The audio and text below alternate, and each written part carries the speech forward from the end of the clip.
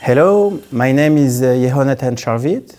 I'm the author of Data-Oriented Programming, published by Manning. And um, there is a big thing in uh, software engineering, which is uh, complexity. And there are many paradigms and many ways to write code, but uh, one of them is really powerful in order to reduce system complexity. And this is what we call data-oriented programming. By complexity, I mean the thing that makes it hard for human beings to understand how a system works. You know, the thing that makes it difficult to uh, fix bugs or to add new features. When you add a feature here, it corrupts everything there. So that's what we call complexity. And data-oriented programming is a paradigm that reduces system complexity for not for every kind of system, but for information systems like backend uh, applications, front-end applications, web servers, data pipelines, uh, uh, rich web apps that run, run in the browser, things like that. And how do we do that? In fact, the key is to treat data as a first-class citizen, or even put it in a shorter way, to treat data as data, as it should be, right? The question is, how do we do that? How do we treat data as data?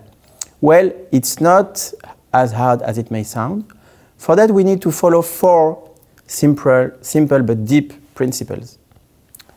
The first one is we separate between code and data.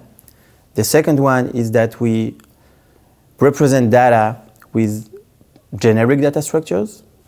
The third one is that we never ever mutate data. And the fourth one is that we separate between data representation and data validation. Let me go over each of these principles one by one. So the first one, we separate between code and data. Unfortunately, we have been uh, taught by object-oriented programming that data should be encapsulated into objects, that we should mix together data and behavior into object. That's sad, but the first thing we need in order to be able to treat data as data is to separate between code and data. So we have functions or methods on one hand and data on the other hand. And data, by definition, is stateless. So the, the code that we write for implementing our behavior is also stateless. So we, are, we have code on one hand, data on the other hand. And it has a huge impact on reducing complexity. That was separating between code and data.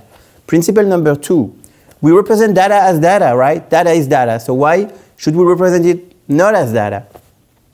What do I mean by that? By that, I mean to use generic data structures like hash maps or dictionaries, as we call them uh, sometimes.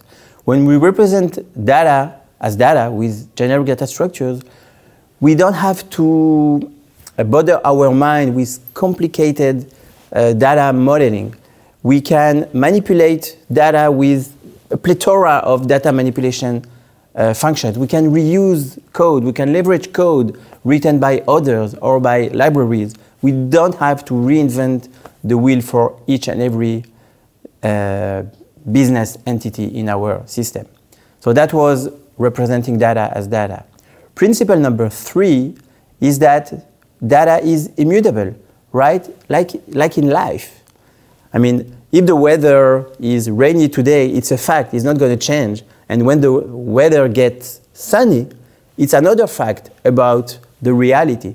We don't mutate facts. Facts are immutable. So in our information systems, when we would like to represent reality, information that happens for real, we'd better uh, do that with in an immutable way, with no mutation, no state. State is such a huge source of complexity in traditional uh, web systems and other systems.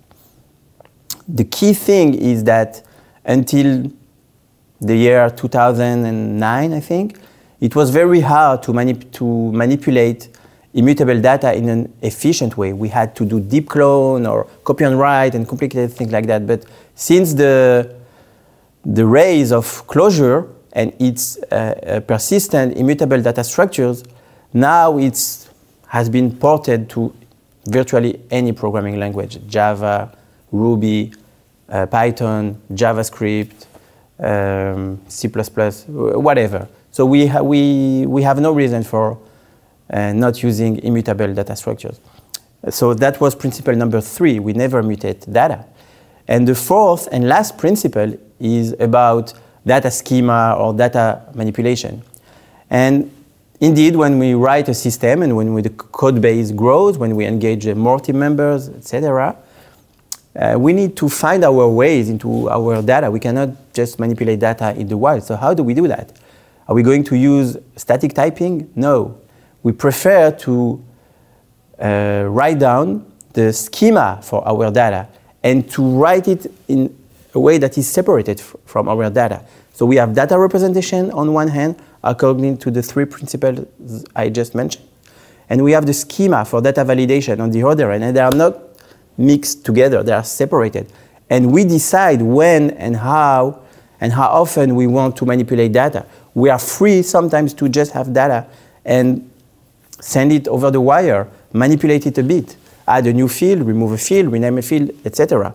And when we want, when it's important, we have the possibility, the choice to manipulate data. So there are ways, there are languages like JSON schema that allows us to write data schema, and we, the programmers, we decide when we want to uh, validate the, the data according to the schema. And once again, it gives us an edge, it leverages our uh, ability to move fast, to make the system, to keep the complexity of the system uh, low. So that was principle number four. We separate between data validation and data representation. As you may have noticed, all of the four principles of data-oriented programming are about uh, separation, decoupling, which is the meta principle of every good uh, programming uh, paradigm. Let me recap them quickly. We separate between code and data. We represent data as data with generic data structures. We never ever mutate data.